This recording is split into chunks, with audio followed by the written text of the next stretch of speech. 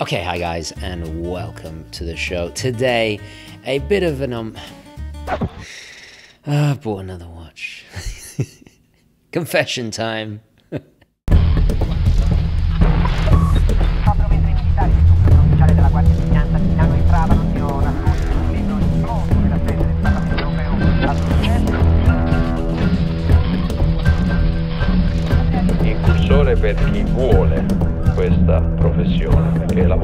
È un fattore determinante per poter riuscire nelle difficoltà che si incontrano sul percorso. No wristwatch check because I'm actually wearing it. I don't want to give game away. Well, you're going to see in just a moment. But I honestly did not intend to buy this watch, but I was kind of hunting around. Uh, I was actually looking at an entirely different watch, the um, the Breitling Chronospace. I'm not sure if you remember or um, me owning that watch, and I very very much regret selling it. It still is a bit of a sweet spot. But this is even better value because um, it's not an AniDigi quartz or super quartz or what, what, was the expression? Yeah, I think super quartz. This is an automatic uh, diver. Uh, I bought for 750 bucks. It's a Colt, but it's not just any ordinary Colt. It is uh, a military, uh, dedicated military Colt. Cult? No, that's that. Well, Freudian slip there. Um, Colt from Breitling. So, who are the COMSUBIN? Well, it's a fascinating story in itself. Let's take a look. It's a portmanteau of Raggruppamento Subacquei e Incursione. This is a highly elite special operations unit of the Italian Navy or Marina Militare. The unit consists of divers, or sometimes referred to as raiders, with a history that can be traced back to the world's very first military frogmen. Italy was the first nation to use frogmen and human torpedoes. The then Royal Italian Navy's naval assault divisions are considered to be the precursor of all modern naval special forces. Their record can be traced back to World War I and operations against the Austrian-Hungarian battleship Viribus Unitis in Pula Harbour in 1918. If you have seen my Panerai video, you will undoubtedly remember that Italy's legendary frogman group originated in 1938 as the 1A Flottiglia Mezzi di Assalto, which was then reformed in 1940 as the infamous Decima Flottiglia MAS. They undertook famous operations including at Suda Bay, Alexandria, Gibraltar and Malta. Just to give you an idea of how ahead of their time the Italian Navy were by utilising divers for combat, the British SBS was formed a while later, 1940, and the US Navy SEALs in 1962. After the war, the Decima Flottiglia MAS was disbanded, but the training experience gathered during the conflict was not lost. It was preserved in units scattered across the new Marina Militare. Established by Admiral Gino Birindelli on the 15th of February 1960, the COMSUBIN was named in memory of Teseo Tesei, the Major of the Corps of Naval Engineering, who was the inventor of the famous human torpedoes known as maiale, which means pig in English, and used by the daring frogmen during the war. This command is the custodian of the memory of the highly decorated Italian naval assault divisions, which created a worldwide sensation during their heroic endeavours. The COMSUBIN is currently based in three detachments near the Gulf of La Spezia in the Liguria region of northwest Italy. In keeping with its tradition, the command has long been known for its acquisition and use of unconventional weapons, along with its membership being a well guarded secret due to the nature of some of their missions. Since World War II, aside from their domestic operations in the Mediterranean, they have been deployed overseas in the Adriatic, Albania, Lebanon, the Persian Gulf, Rwanda, Somalia, Afghanistan, Iraq, Libya, and so on. Their emblem is just as cool as the intimidating skull and rose of their Decima MAS ancestors. It shows a crocodile framed in a shield, like a coat of arms, with a dagger in the mouth, ready to attack amphibiously. So, without further ado, let's uh, have a look at the unboxing and then um, I can show you it on the wrist. I'll do a quick knife check. We got the Kershaw Leek. I adore this knife, the Ken Onion designed little um, masterpiece there. Uh, still in love with this knife. So let's do the first unboxing. And I have to say, I'm, I'm not that impressed with the package, uh, considering this is a watch. I mean, it, there was no box or, or, or, in the listing, which is fine, but shipping a watch like this is a... Yeah, it's not very secure. I mean, look at that. So um, I'm a little bit concerned. Anyway, let's make the first incision. It's got a little worse. I, am putting my hand in and I can feel the watch. No box whatsoever. So, I, God, is it even going to be in one piece? So, really low marks for the packaging, considering I, I paid, you know, 750 bucks, which I know to some people is nothing, but um, to me it's a lot of money. Actually, you know what? Let's let's do drum roll anyway. All right, because why break tradition?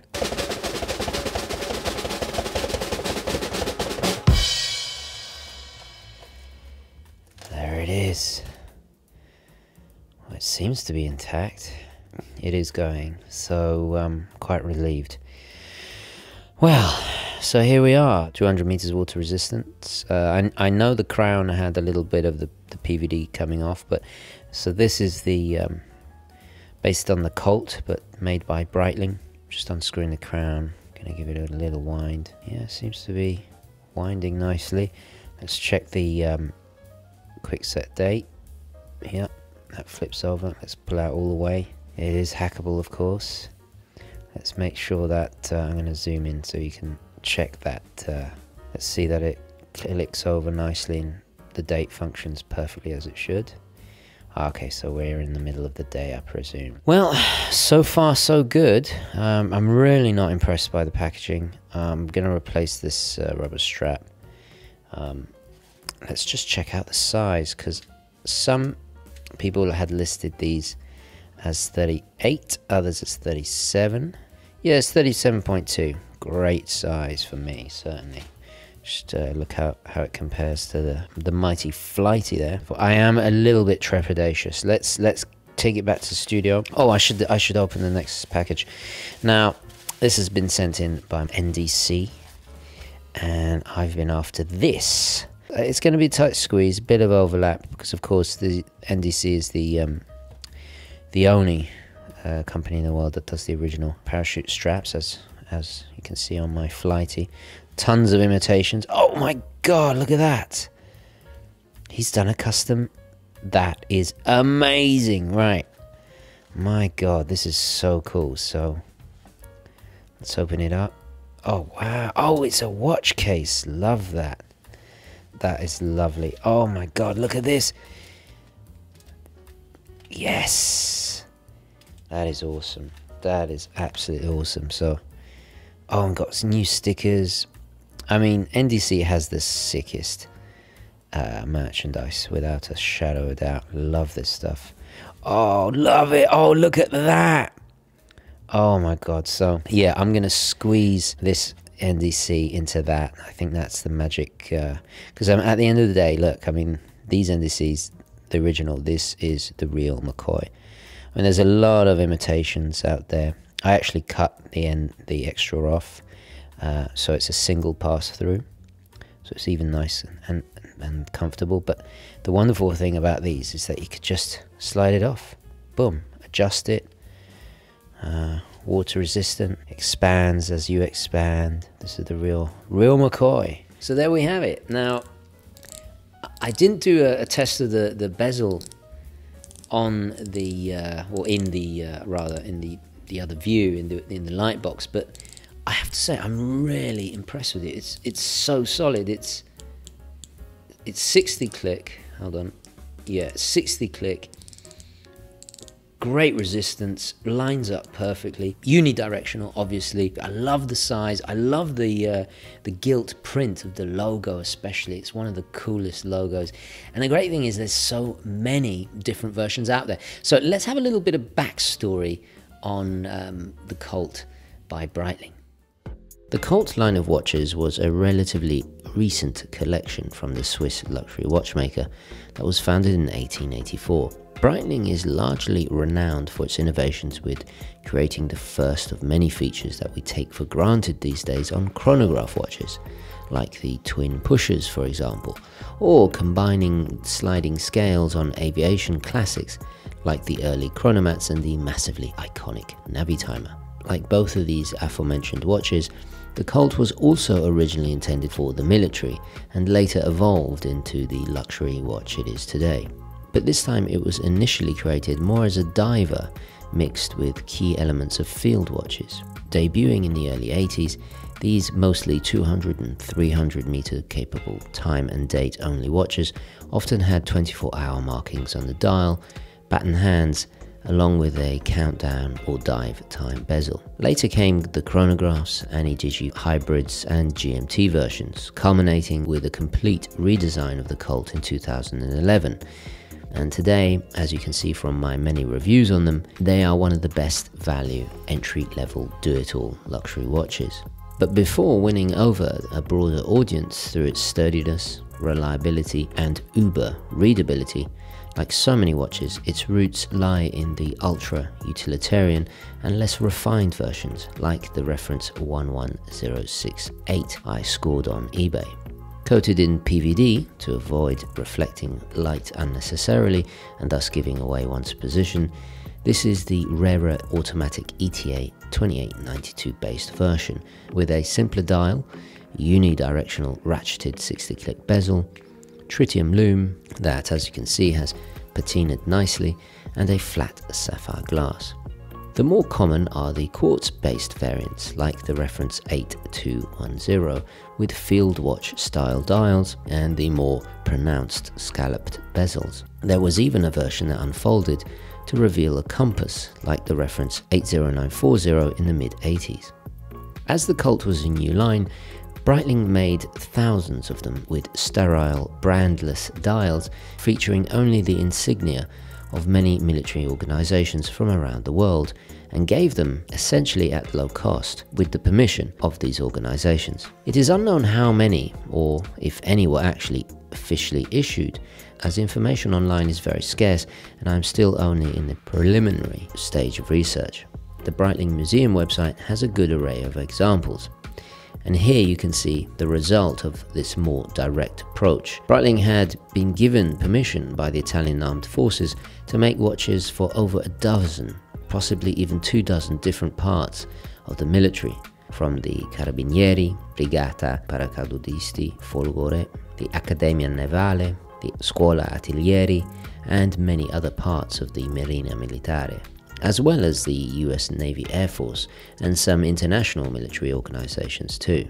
These were then offered for sale to the Italian military personnel of these relevant units or groups at greatly discounted prices. So today, there is an abundance of specialized versions. Many of these can be found for less than a grand in various states of wear. The watch snob may critique it for not having the prestige of being actually individually issued and numbered, but nonetheless, this is a great era of overlooked military watchmaking.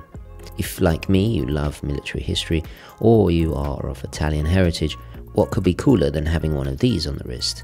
And who knows what stories this watch could tell of clandestine operations it has been a part of.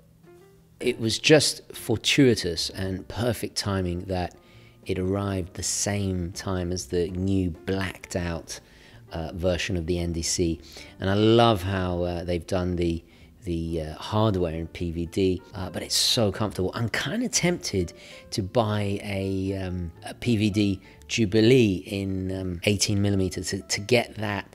Uh, the Bond, which one was it? It was Dalton, wasn't it, with the um, the tag uh. Those were uh, issued to the Marine Nationale, if you remember from my uh, watch history book. In terms of the watch case, this is a bespoke watch roll and they are made on request by NDC.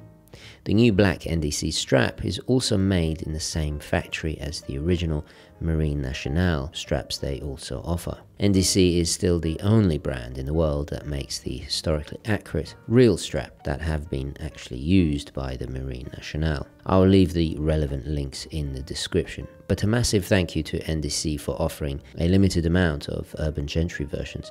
This is indeed a massive honor. And lastly, per tutti i miei gentri italiani, per favore lasciatemi un like su questo video.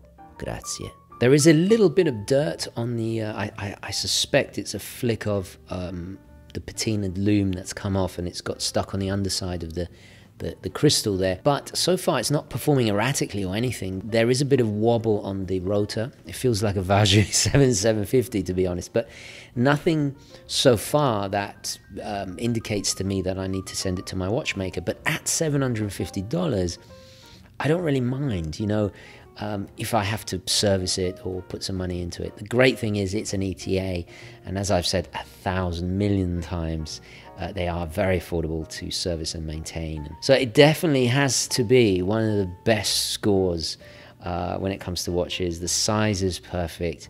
It's got that connection uh, to well, a country that uh, I grew up in, being Italian, of course. The condition is remarkably good as well. There is a bit of wear on the crown, uh, but I knew that from the pictures, and I'm really happy it's the automatic, not the quartz, uh, because the quartz tend to be more easily available. Although I think the prices will go up, especially as more people realise what a fantastic little part of Breitling's history that no one seems to remember. But so far, I am absolutely over the moon, chuffed to bits. Uh, all my other cliched expressions going to be uh, rocking the hell out of it. And also, where is it? Now, to complete today's ensemble, I actually bought this uh, commando sweater with the quarter zip from Rothco. These are very affordable.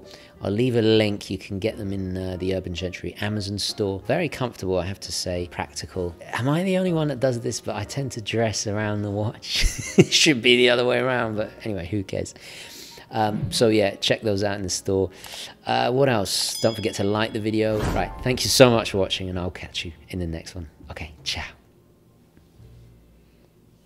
Yeah.